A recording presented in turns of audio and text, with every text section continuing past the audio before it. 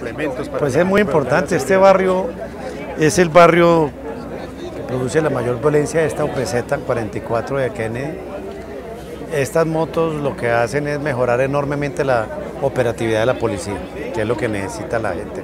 Hablan del tema de ambiente que se tiene previsto desde, las, desde la Bogotá Humana. Varias cosas. En primer lugar, que la policía coloque un CAI lo más inmediatamente posible para que haya una vigilancia 24 horas y no se permita que ninguna persona venga a depositar aquí escombros o basuras.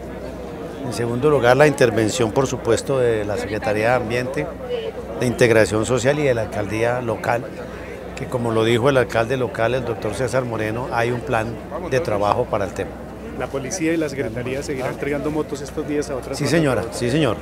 Principalmente el plan de seguridad 75. Gracias, señor secretario.